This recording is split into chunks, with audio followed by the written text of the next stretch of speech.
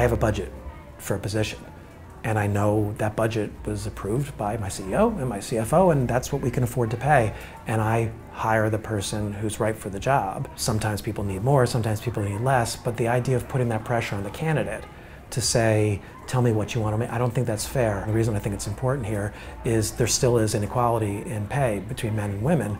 And if a woman is looking to move from one company to the next, that's when you increase your pay in your career. You don't make more by staying at the same company, you make more by moving. And if she's coming out of a situation where she didn't have an equal approach to pay, she's being underpaid for the value she's bringing to that organization, and she has to establish that as the floor coming into a new, we're just never going to fix this. So if we can flip it and instead not make it about what do you need to be paid, but instead, what are you worth? What's the value you're bringing to the company? Then again, over time, it becomes a non issue.